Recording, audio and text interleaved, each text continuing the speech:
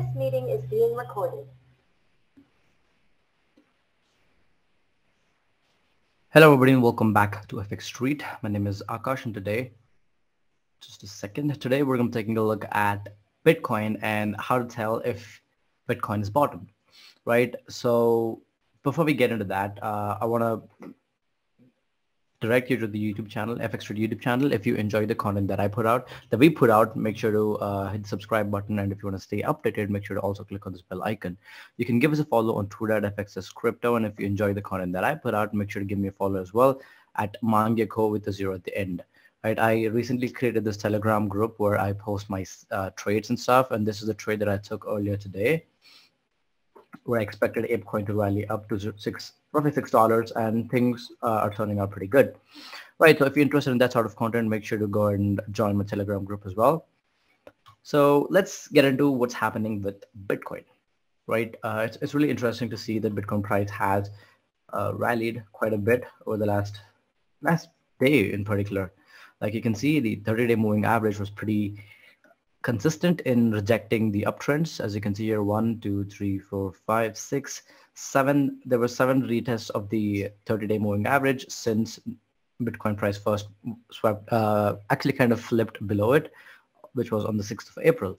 Since then, every single retest of this particular moving average led to a rejection followed by a downtrend. So far, uh, something similar happened on 17th of July as well. But the next day, Bitcoin price uh, kind of found support along the the 13 day moving average, which is the purple line that you see here.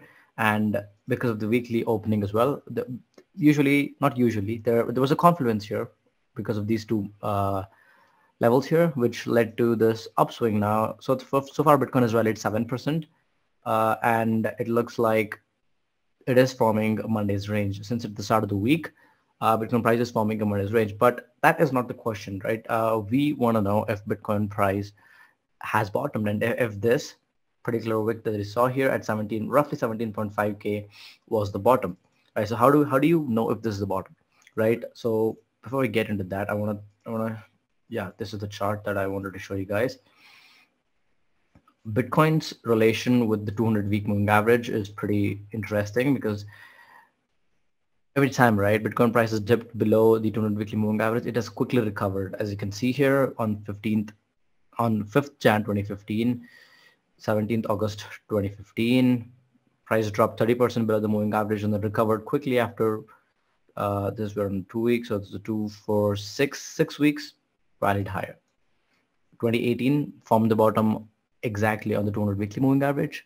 And then we had the March COVID crash, Bitcoin price dropped 30% below the 200 week moving average, then rallied, and now we've spent one, two, three, four, so roughly eight weeks below the 200 week moving average, right? So 200 week moving average is currently hovering around 22.7K, depending on what chart you're on. Uh, in here, the 200 week, hold up. The 200 week moving average is roughly around 20, 22.7K. And the last time price came very close to retesting this, but kind of failed to do that. Uh, and interestingly, as you can see here, the, hold up, the 30 day, right? So the 30 day EMA and the 200 week moving average kind of had a confluence around here, which led to this rejection right? And now that Bitcoin price has rallied 7% over the last 24 hours, it is it has come extremely close to retesting the 200 week moving average, and it will decide if Bitcoin price is bottomed or not, right? Uh, so my thesis for all of this is if Bitcoin overcomes the 200 week moving average and flips it into the support floor, then there's a good chance price goes all the way up to 28K.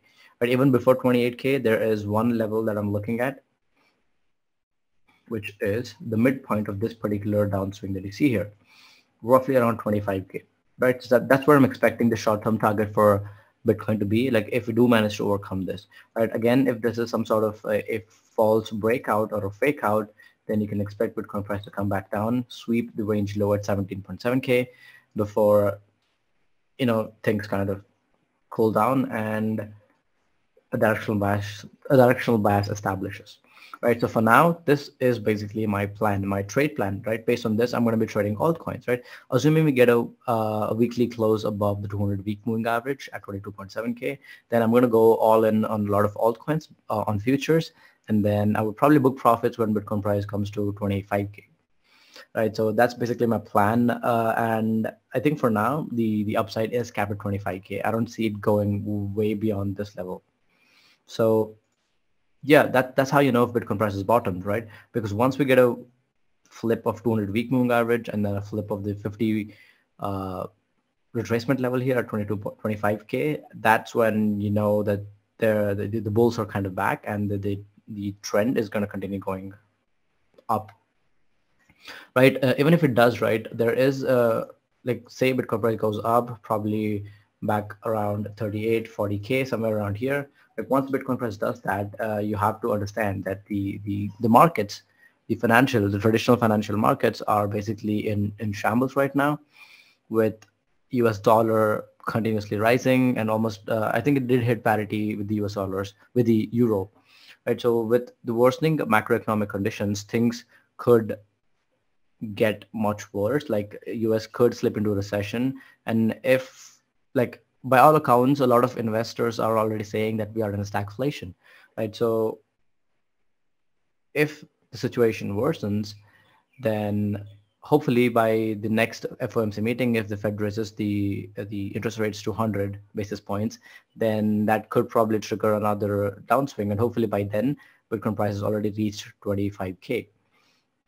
Right. So if, even if the Bitcoin price does go up, right, there is always this threat of recession uh, from the traditional financial market. Now, that could be a temporarily a bad thing, but if you look at it, the 2020 COVID crash is what caused the, the correlation of Bitcoin with the S&P 500 or basically the stock market to increase quite a bit, right? And hopefully, if we get a recession, uh, a sharp decline in Bitcoin price, then that could probably put an end to the correlation that's been uh, going with Bitcoin and the stocks. So yeah, that pretty much uh, completes or concludes my take on how to spot Bitcoin bottoms. Uh, I've given you an outlook on what's happening in the market right now and also from an historical standpoint and how the 200 week moving average has played a significant role in, in helping from a Bitcoin bottom. So uh, if you enjoyed this analysis, please make sure to like, comment, and subscribe.